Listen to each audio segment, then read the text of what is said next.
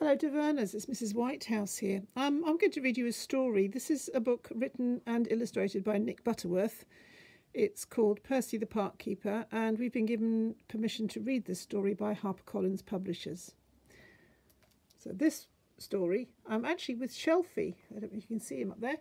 He's come to stay with me while we're off school, and I'm going to read you a story called The Hedgehog's Balloon. Percy the park keeper looked up from his work and gazed in wonder. Two red ones, a blue one, there's a yellow one, and another blue one. Percy was counting balloons. I wonder where they're coming from, he said to himself. Somebody must have had a party. He put down his trowel and wiped his hands. Well, if nobody wants them, he said, I think I'll help myself.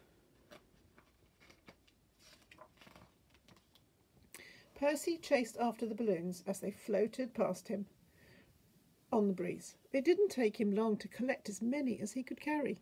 He began to walk back towards his hut, whistling happily. Suddenly, Percy stopped. He could hear a faint sound coming from a tree stump nearby. It was not a happy sound. Someone's crying, said Percy. Oh, dear. He let go of his balloons and hurried off to the stump. Sitting on the tree stump and looking very upset was a hedgehog. Two mice were doing their best to comfort him. Goodness me, said Percy, whatever is the matter? It's all these balloons, said the hedgehog. Then, in between sniffs and sobs, he explained to Percy how he had always loved balloons. The trouble was that he could never have them because they would always burst on his spines. It's just not fair, and the hedgehog burst into tears again. You poor thing, said Percy. He tried to put his arm around the hedgehog, but took it away at once. Ouch, he said. Then Percy took one of his thick gardening gloves out of his pocket and put it on. The hedgehog nestled into his hand.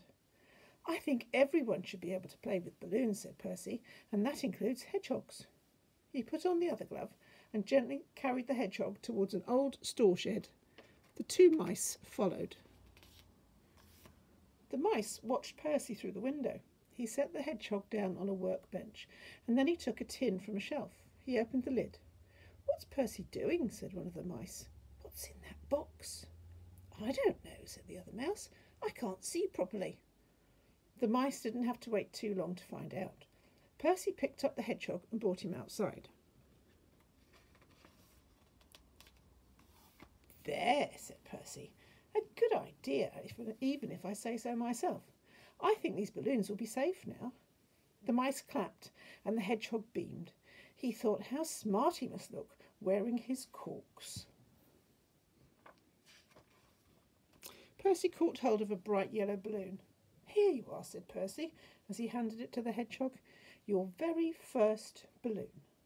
The hedgehog took the balloon, and with a great big smile on his face, he scampered off with the balloon floating beside him. Another satisfied customer, said Percy, feeling pleased with himself. Percy turned to go back to his hut, but suddenly there came a loud bang. Oops, said Percy. One of the corks must have come off. It's a good job we've got plenty of balloons.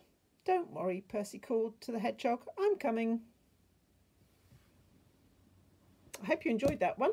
Um, I'll be back to read you another one shortly.